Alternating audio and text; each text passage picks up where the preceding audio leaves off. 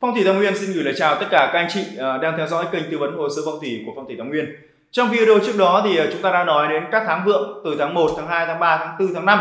Vậy thì ngày hôm nay thì không còn ờ, chờ đợi gì thêm chúng ta sẽ nói đến cái việc yếu tố về khai sơn lập hướng tức là xây mới một ngôi nhà trong cái tháng 6 đó là tháng Quý Mùi hoặc là tu tạo sửa chữa tại ngôi nhà trong cái tháng 6 tháng Quý Mùi này thì xây mới chúng ta xây mới được hướng nào tu tạo sửa chữa chúng ta tu tạo sửa chữa được phương vị nào thì trong cái tháng 6 là tháng quý mùi chúng ta sẽ cùng tìm hiểu để biết rằng là với ngôi nhà của chúng ta liệu chúng ta có thể xây mới được hay không? À, hay là chúng ta muốn tu tạo sửa chữa tại một vị trí nào đó trong ngôi nhà thì tu tạo sửa chữa vào cái tháng 6 này được không? À, chúng ta cùng đi vào video.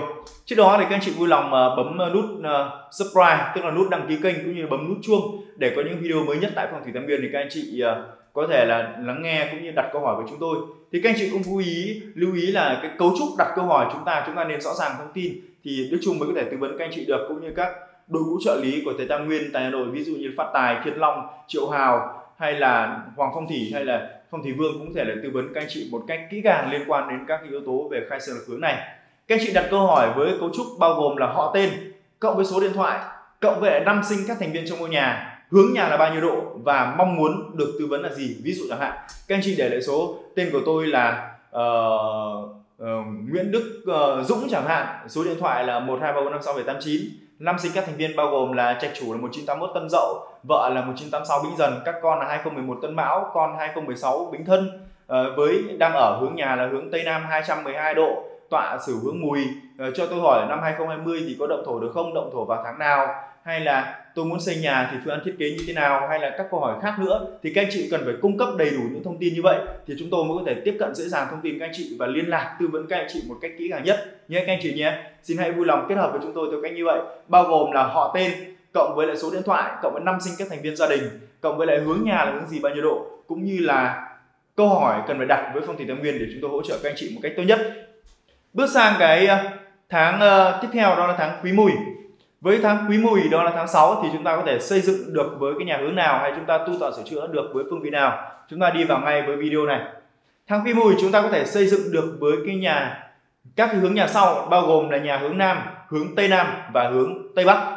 Các anh chị nhớ nhé, với tháng 6 tháng quý mùi chúng ta có thể xây dựng được với nhà hướng nam, hướng tây nam và hướng tây bắc với nhà hướng Nam có giải độ từ 157,5 cho đến 202,5 độ. Hướng Nam bao gồm ba sơn hướng là Bính Ngọ Đinh, sang năm 2020 hướng Nam có cái yếu tố cắt khí rất đắc lợi để các anh chị hoàn toàn có thể là xây dựng được. Do đó rằng là cả ba sơn hướng là bính ngọ đinh các anh chị hoàn toàn có thể xây dựng được rất là tốt. Và đặc biệt trong cái tháng 6 là tháng quý mùi cũng là tháng vượng để chúng ta có thể triển khai xây dựng được do tháng này có nhật quyền đáo sơn hướng. Hướng tây nam bao gồm ba sơn hướng là mùi khôn thân với hướng tây nam chúng ta chỉ có thể xây dựng được hai sân hướng đó là hướng mùi và hướng khôn. Hướng thân chúng ta không thể xây dựng được bởi vì phần tọa dần nó phạm phải mậu kỷ đô thiên sát. Do đó rằng là hướng thân chúng ta không nên xây dựng trong năm 2020 này mà chúng ta chỉ có nên xây dựng được hướng mùi và hướng thân mà thôi. Hướng tây nam có giải độ từ 202,5 độ cho đến 247,5 độ. Chúng ta xây dựng được hướng mùi và hướng thân. Do đó rằng là để mà chi tiết các anh chị vui lòng tải ứng dụng là la bàn việt về máy với cái ứng dụng La Bàn Việt các chị có thể tải trên cả điện thoại iOS tức là iPhone hoặc kể cả điện thoại chạy hệ đánh Android như là Oppo, Vivo hoặc là Samsung hoặc là Huawei hoặc là các dòng điện thoại khác thì các anh chị đều tải ứng dụng La Bàn Việt này về. Các anh chị vui lòng trên lên kho ứng dụng gõ là La Bàn Việt và sau đó tải nó về để đo. Thì khi đấy mặt la bàn nó báo cụ thể nhà anh chị ví dụ như là tọa gì hướng gì thì chúng tôi có thể là tư vấn chi tiết được. Ví dụ như là đo xong các anh chị thấy là báo là tọa sử hướng mùi đấy, sau đó thì các anh chị đối chiếu với cái thông tin mà chúng tôi đang tư vấn ở trên này để các anh chị biết rằng là tọa sử hướng mùi tức là tọa đông bắc hướng tây nam vào cái hướng mùi năm 2020 động thổ được và tháng 6 là tháng quý mùi cũng động thổ được. Do đó để các anh chị chú ý và có thể nắm được một cách chi tiết nhất. Các anh chị tải ứng dụng về và đo cụ thể thì mới rõ ràng được thông tin. Ờ, nhắc lại hướng tây nam chúng ta chỉ có thể khai sơn lập hướng tức là xây mới được với hướng mùi hướng khôn. Chúng ta không nên xây dựng với nhà hướng thân nhé. Hướng tây bắc hướng tây bắc bao gồm ba sơn hướng là tuất càn hợi sang năm 2020 ở hướng Tây Bắc bao gồm tuất càn hợi thì chúng ta chỉ có thể xây mới được với hướng tuất và hướng càn. Tây Bắc có giải độ từ 292,5 độ cho đến 337,5 độ thì chúng ta chỉ có thể xây dựng được với hướng tuất và hướng càn. Hướng tuất có giải độ từ 292,5 độ cho đến 307,5 độ. Hướng càn có giải độ từ 307,5 độ cho đến 322,5 độ và chúng ta tránh hướng hợi. Hướng hợi có giải độ từ 302,5 độ cho đến 337,5 độ. Thì với cái nhà tọa tị hướng hợi năm 2020 tuyệt nhiên chúng ta không xây dựng được. Với nhà hướng hợi năm 2019 chúng ta đã kiêng không xây dựng bởi vì hướng này phạm phải thái tuế năm kỳ hợi mà. Do đó rằng là thái tuế sẽ đến phương hợi. Do đó chúng ta không thể xây dựng được với cái nhà tọa tỵ hướng hợi.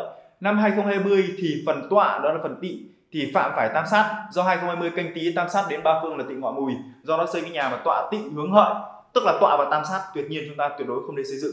Do đó chúng ta chỉ có thể xây dựng được với hai sơn hướng, đó là hướng tuất và hướng càn mà thôi. Do đó là các anh chị cần phải chú ý cái yếu tố này để đo đạc độ số chính xác của gia đình mình, báo với chúng tôi theo cấu trúc đặt câu hỏi như trên để chúng tôi tư vấn các anh chị một cách kỹ càng nhất nhé. Lưu ý, trong cái tháng 6 tháng quý mùi, chúng ta xây dựng được với ba hướng, đó là hướng nam, hướng tây nam và hướng tây bắc. Trong đó, hướng nam chúng ta làm toàn bộ hướng đều được, hướng tây nam chúng ta trừ hướng thân và hướng tây bắc chúng ta trừ hướng hợi quay sang với việc là tu tạo sửa chữa. Tu tạo sửa chữa trong cái tháng 6 tháng quý mùi chúng ta có thể tu tạo sửa chữa được với cái hướng đó là hướng tây à, hướng đông bắc và tu tạo sửa chữa tại được khu vực trung cung. Hướng đông bắc bao gồm ba sân hướng là sửu cân dần chúng ta hoàn toàn tu tạo sửa chữa được với cái phương vị đông bắc. Xin lỗi các anh chị là phương vị đông bắc chứ không phải là hướng. Phương vị đó chúng ta tính từ tâm của ngôi nhà đến cái vị trí tại cái phương đông bắc đấy của nhà mình. Thì các anh chị sẽ biết rằng là tại phương đông bắc nó có giải độ từ 22,5 độ cho đến 67,5 độ. Thì các anh chị dùng cái ứng dụng la bàn việt này này. Các anh chị tiến hành là đo ở ngoài cửa xem là nhà mình là bao nhiêu độ. Các anh chị khóa cái mặt la bàn lại sao cho đứng im. Rồi chúng ta đi vào trong giữa của ngôi nhà cái đầu của điện thoại vẫn chỉ theo hướng nhà. Chúng ta nhìn trên mặt la bàn để xem ra là cái phương đông bắc nó chỉ về đâu.